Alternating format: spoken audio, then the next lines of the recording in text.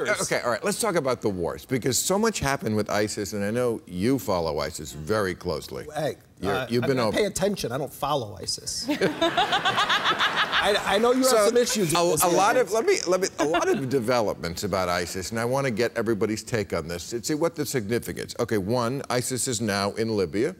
We found out that they took over a whole town, including beheadings, gender separation, all the stuff that make them so fun.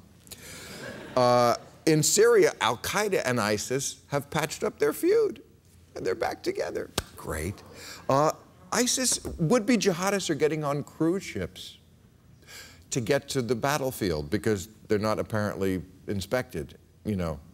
Well, they shouldn't eat the food on those cruise ships. Maybe they should. Serious. That's our best Um, defense. The joint head of the Joint Chiefs said it would take 80,000 troops on the ground to retake all the territory if we wanted to actually defeat ISIS. So I guess my first question is, shouldn't we stop all this talk about we're going to militarily defeat ISIS because it would involve troops on the ground and we're not going to do that? You, you, you know what's never discussed when we talk about ISIS is the fact that uh, probably their most powerful military forces within that are operating under the banner of ISIS are secular former Baathists that were fired by George Bush's brilliant man Paul Bremer in Iraq. They've joined a coalition with radical Islamists who are doing the kinds of things you're talking about. They're beheading people, they're imposing a very insane interpretation of Sharia law. But this is not just you know, crazy Muslims who want to behead people. There are people in the north of Iraq that are fighting the same war that they were fighting against Bush's troops when he got sent in. So to narrow it down to this would be like saying Bush was on a, on a religious crusade going into Iraq, and he hired Blackwater, the Neo Crusaders, and they went in there and they started waterboarding people and ripping out their, and this is a Christian war. I, I, think it's much more complicated than that, and oftentimes we write it off as well. Just this is just the religion. It, it, it is a much more complex landscape uh, right now. But It's look. My my actual view of this is that once upon a time, an American president's going to have the spine to say, "We're not going to do anything."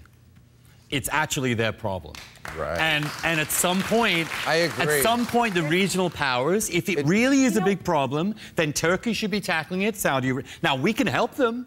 And we could definitely It's- you support know them, but why are we the ones? It's like welfare. Why are we the ones that have to go in there, own it, and that's why they're they're doing well. Exactly. The best thing that ISIS ever happened to ISIS is Obama elevating them to this grand global brand. I- That's why Al Uh, Qaeda and ISIS together. I, I don't. I I, don't. I don't think that. I don't. In, in defense of the president, I don't think he decided that ISIS is our number one public enemy. I think there's there's critical intelligence that indicates. Look, if, if the police commissioner of New York City, Bill Bratton, who used to be the police, police commissioner here in Los Angeles, And he Boston. has said publicly that ISIS is the number one threat in New York City. Why? Because they are so sophisticated with their social media and with with recruiting lone wolves over the internet. They have massive videos showing, you know, folks in the in, in the United States. Why utterly Faisal uninterested Shahzad? in the U.S. until we made it our war. They were interested They were in taking They were- back they were Iraq. They're already Sunnis reaching fighting out Sunni internationally Shia. through social media. But you're talking about the to- intelligence. Of course, they want Well, What happened to the recruits. Khorasan group? Remember when they were the big threat? Then they disappear. Now it's ISIS. Then we'll go back to it being Al Qaeda in the Arabian Peninsula. It's the flavor of the month of terrorism. There's, the, the New York Times really- said there were 5,000 Islamic militant groups in the world. 5,000. Um, it, it's, it's a little disingenuous to say that there are that many Islamic militant groups in the world. There are some of them And that yet- are better funded. There are some of them that have, are better networked. There are some of them that have more territory. ISIS has all of those things. It's the size of the state of Indiana. It's got massive financial resources. I mean, this is not just. It's way more powerful than Al Qaeda was when we were hit at home in 9 I 11. know, but see, here's the thing. Um, I, to take your point, I think unless we let the Muslims have this fight amongst themselves, it's never going to work out the right way. Because as long as we're doing the fight, it doesn't have enough credibility. it's like when I, when you or I say critical things about Islam, it's not nearly as effective as when an Islamic person, a Muslim, says something critical.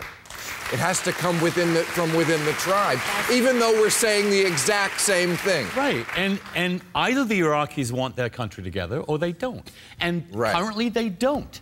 And until they fight bloodily enough to realize it's not worth it, there's nothing we can do But how to can we help have, that situation how can we have this at all, except make it worse. Without, without bringing up the context of, I mean, Saudi Arabia one of the U.S. top allies, is beheading people Sure. left and right, atrocious human rights record. Right. We, are, we are now in bed with General Sisi in Egypt, who is Mubarak after Sure. Mubarak. We, we have, bear a big, this isn't just, oh, Muslims need to fight Muslims. The U.S. is not a passive player in this. The U.S. is funding the very threat that we claim Yes, to be trying let's to defeat. become a passive player. That's what we're saying. All right.